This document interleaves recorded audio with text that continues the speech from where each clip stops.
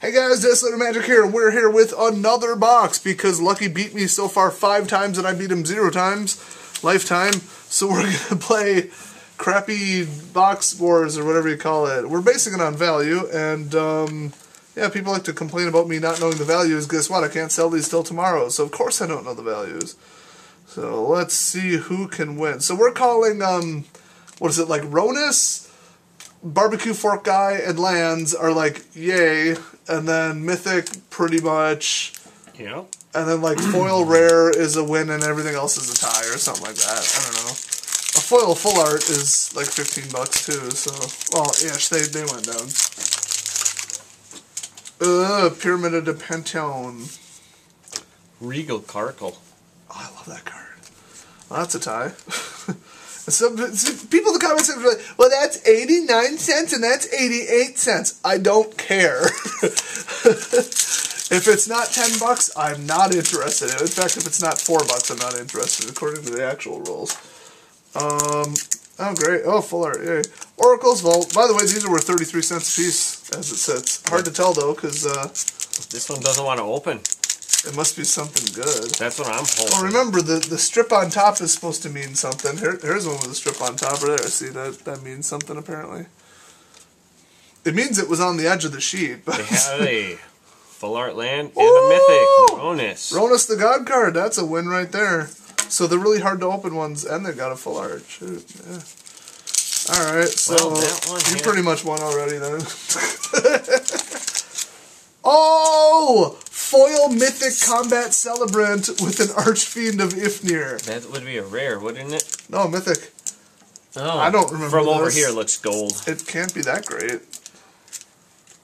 Oh, exerted and untap everybody. Yeah, he's not that great, but he's kind of cool. You could set up something around it. It's a foil It's mythic. like automatic manual vigilance, kind of. Even if I get a mythic, no, I can't. That would actually be really good in your deck, except that it's not haste.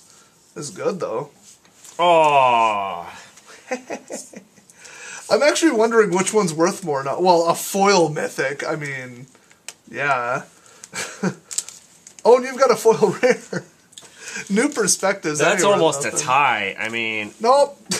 I got a Foil mythic. Foil Foil, rare. mythic equals masterpiece. I got a foil rare and but there's a a foil mythic one in every four boxes, I think.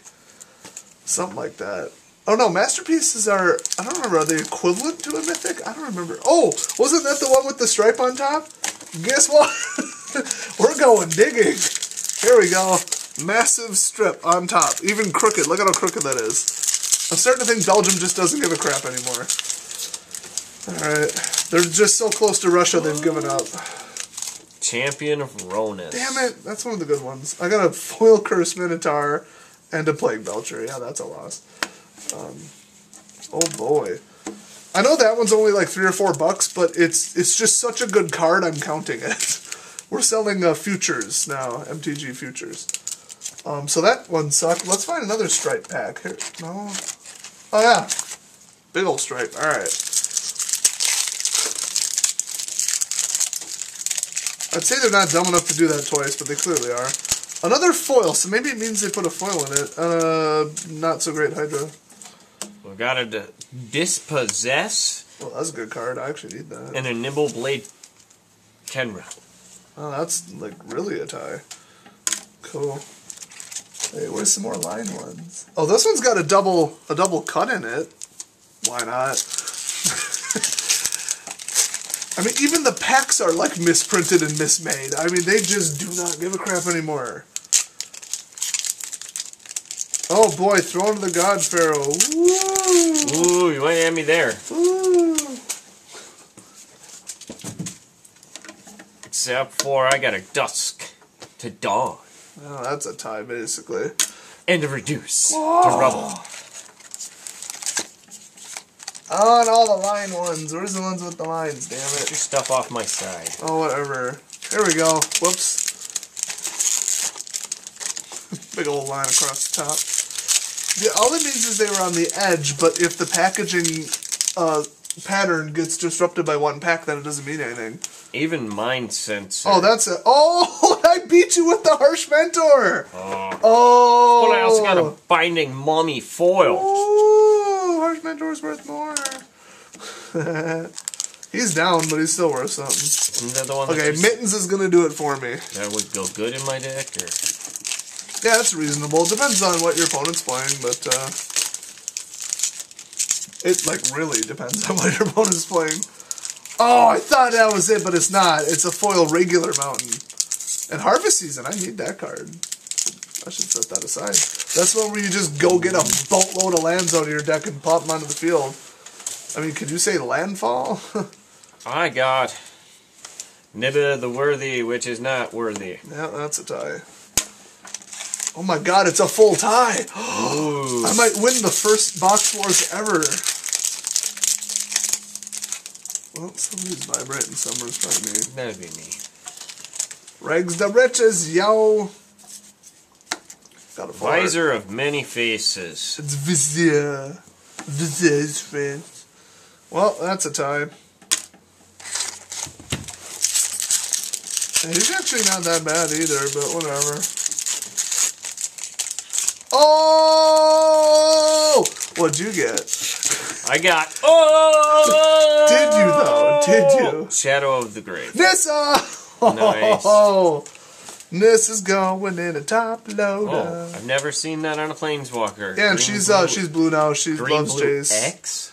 Yeah, she can't figure out if she has a crush on Chandra because a bunch of SJW morons wrote the story. So she comes out with what? Is that X based? All oh yeah, loyal- just X. Yeah, Huh. quite annoying. You can bring her out for like in your deck like thirty. You can bring her out for her ultimate. Yeah, you can just bring her out an altar. Yeah, her alt isn't very good. She's just not that good in Plus general. two Stry honestly. two though is pretty nice. Oh boy, Dread Wanderer. Woo, watch out. I'm not getting like any full arts either. As foretold. Damn it! That's an eighteen dollar mythic. Ah, I hate that card.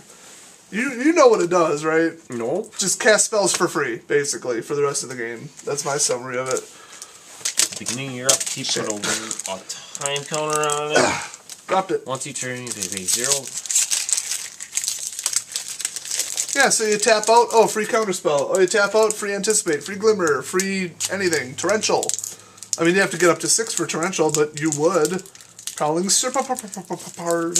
Yes, but it has to be exact. Where X No, it's it's X or less. Unlike Oh. um, Aether Vial and Brain in the Jar, where they have to be exact.